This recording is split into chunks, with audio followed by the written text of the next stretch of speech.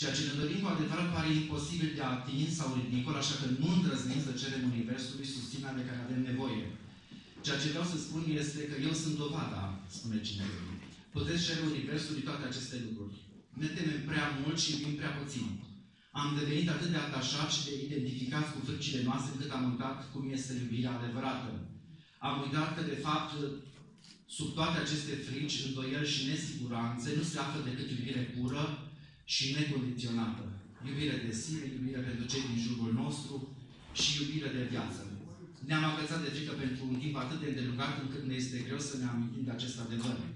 Nu mai facem diferența dintre ceea ce este real și ceea ce este iluzie.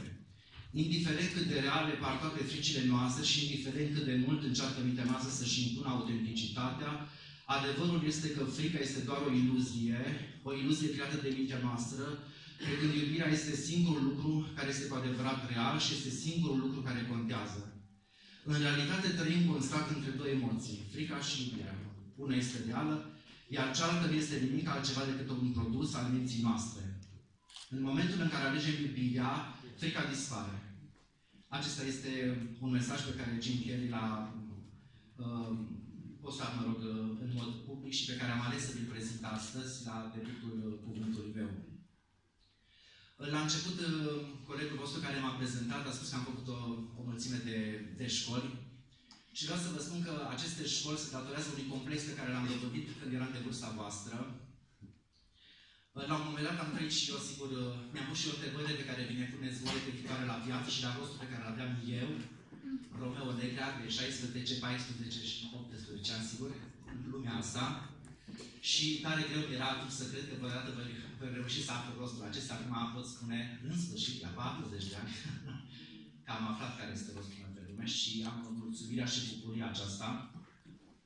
De ce spun dintr-un complex am făcut uh, școlile astea? Mi-a fost greu unor să mă adaptez uh, orelor programului. Unele au fost și probleme sigur acasă, așa cum la fiecare dintre voi sunt convins că apar la un moment dat probleme.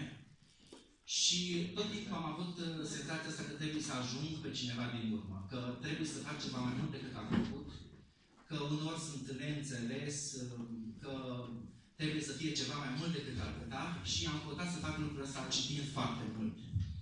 Din totdeauna am fost pasionat de lectură și aici spun ca un uh, neajuns al vieții mele de elev că am avut un profesor de literatură care să mă îndrume pași în sensul acesta, din păcate, și a trebuit să fiu un autodidact.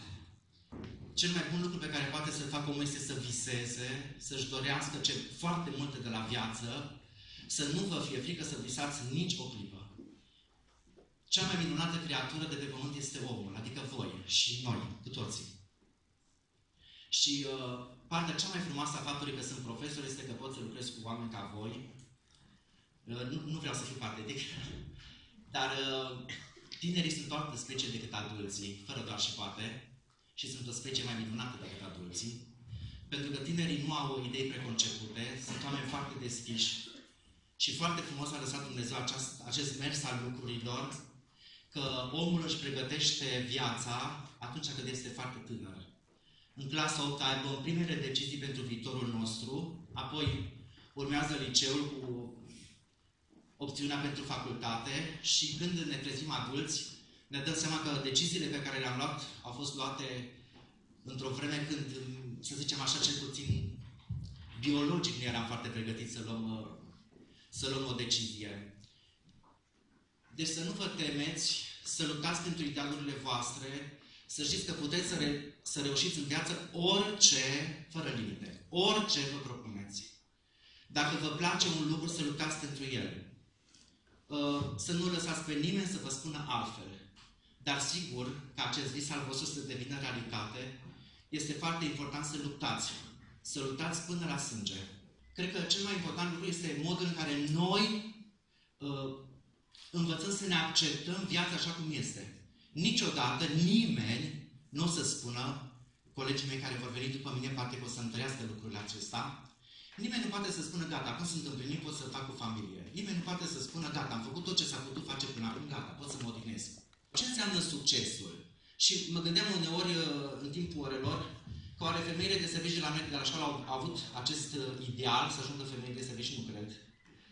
Cred că la un moment dat viața ne duce în anumite locuri sau momente când nu mai putem decide noi înșine pentru viață. Și atunci ce facem? Abandonăm lupta? Nu.